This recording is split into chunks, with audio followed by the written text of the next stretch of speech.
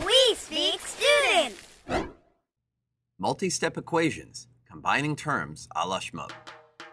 On the island of Shmoo, it's time for caveman Uglug to find his fourth wife. His choices are Mug and Jug. Sorry, Uglug. It's worse than episode of The Bachelor. Jug's dowry, the money and other assets that she brings to her marriage, is worth three times the price of a pig plus two in gold. Mug's dowry is worth six times the price of a pig in gold. Their dowries are equal. This makes who to marry a tough decision for the financially motivated Uglug. I rather invest in rock market. What's the going rate of a pig on the island of Shmoo?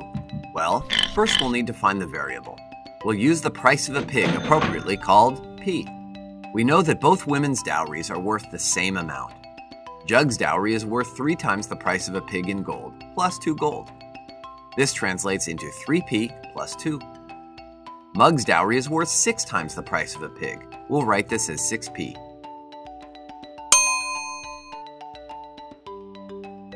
Now don't be intimidated by there being variables on either side. Just like discovering fire. This new. Once you know how to do it, it's hot stuff. Until you set yourself on fire. Ah! Even the numbers you don't know follow the same rules as any two-step equation. You can do the same things to the variables that you do to the numbers that you know. Add, subtract, multiply, and divide.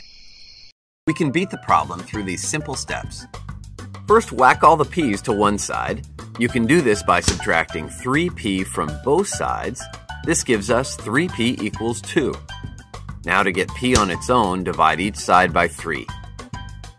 And there you have it, Homo sapiens. The price of a pig equals two-thirds gold. Cheer up, Uglug. Just remember, anything is better than your third wife. I rather invest in rock market. Subscribe to check out more equally fantabulous videos. You should see the subscribe button just below this one.